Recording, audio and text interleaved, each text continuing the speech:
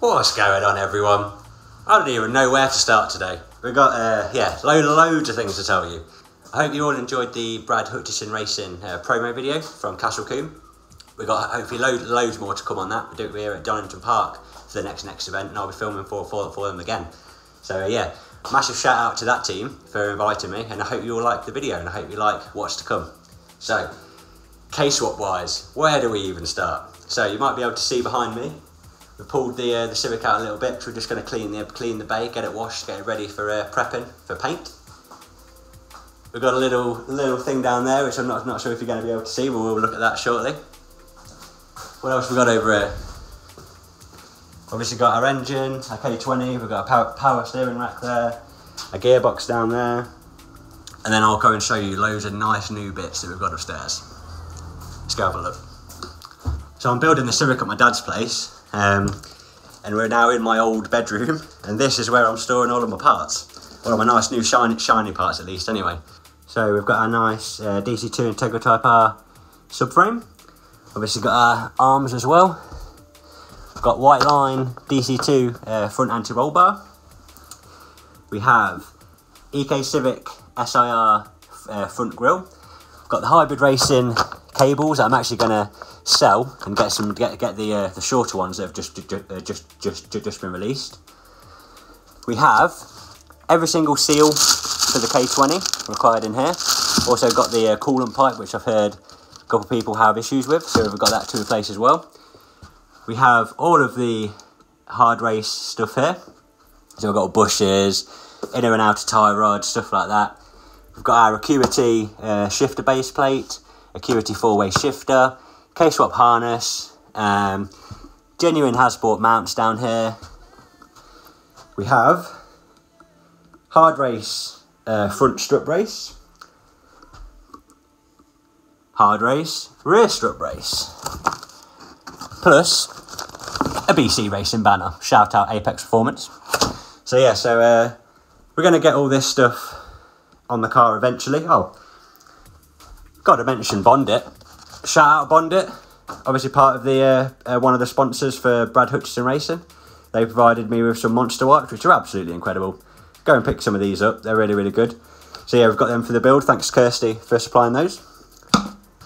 So yeah, as you can see, plenty of uh, parts, plenty of brand new parts. We've actually got some hard race tube tubular armors on the way as well, um, so they'll be here next week. And just to follow on from the shout outs, you may remember in one of my uh, earlier videos, I shouted out a company called Mechanics Giveaways. Well, I finally won a raffle. we, uh, I got this two and a half ton, two and a half ton low entry jack, and also the axle stands as well. So these are going to come in very much handy. Um, I couldn't be any more thankful. We get to retire the old ceiling. Um, so yeah, James and Duran of uh, Mechanics Giveaways, thank you very much. Really, really appreciate it. And what have we got here? Oh, here. So this is a massive shout out to, actually a massive shout out to James, James Handley, who uh, yeah, told me about this place. Let me try and get it on the side. So DB8, DB8 Motorsport, rare uh, parts and wheels, based in Hong Kong, I believe.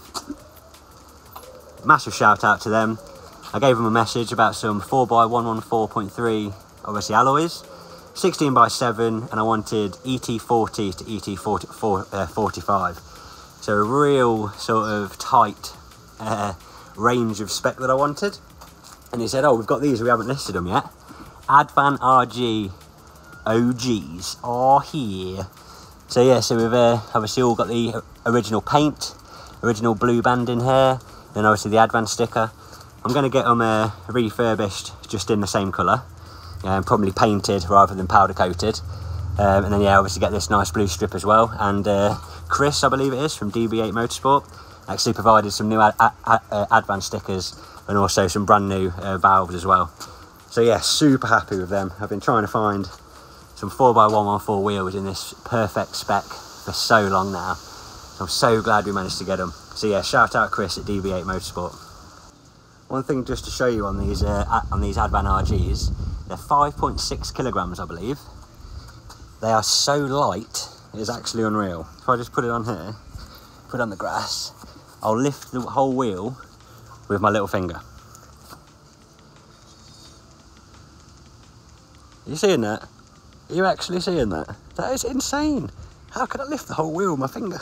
My little finger. He. So here's the uh, the Civic. Like I say, we just uh, I've just got it, just I just got it pulled outside. I'm gonna get it cleaned. Excuse me, cleaned in here. Just a bit of advice. Anything you don't want getting wet, like any connectors or anything like that, just wrap them up in cling film. Any holes going into the uh, cabin or anything like that, again, get get them taped up. Watch out in here. You've obviously got your um, your hole for obviously heating and your air your airbox and everything like that. Not not no, not your airbox, your cabin filter. Sorry. Um, yeah, tape that up. Make sure no water goes in there. And yeah, it's clean in here anyway. But we're just going to uh, just going to get all this sort of grime cleared off and go from there.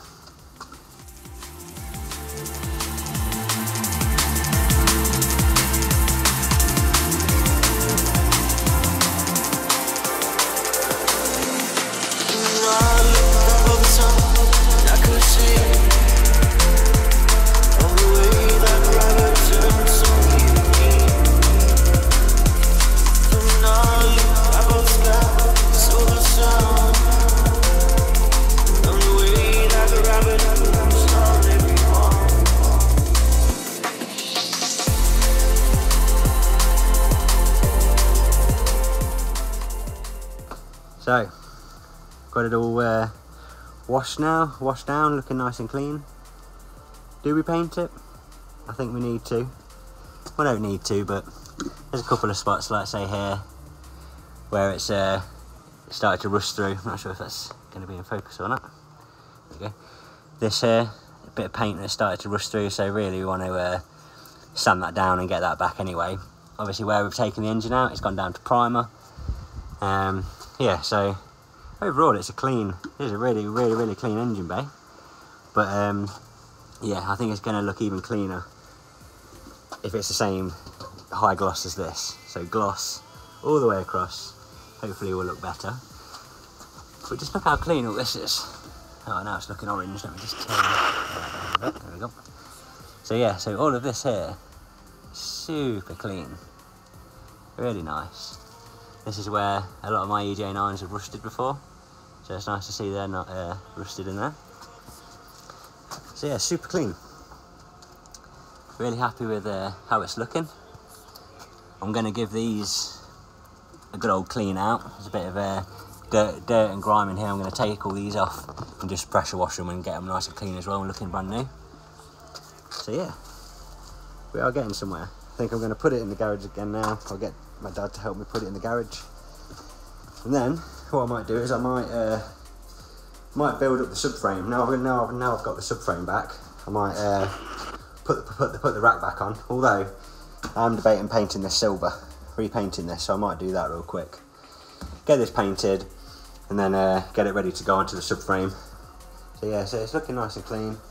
Uh, I think the next thing to do is probably start to prep it. So we'll get some pads and we'll start uh, start sanding it down. Well, not sanding it, but prep, prep, uh, prep prepping it. Basically, get it looking similar to something like that. Obviously, that's where the engine has taken the uh, taken the paint off. But from watching uh, quite a lot of videos, I think all I got to do is just start sanding this, and before I know it, it's going to be primer. Very very light coat of uh, Milano red. So yeah, nice and clean.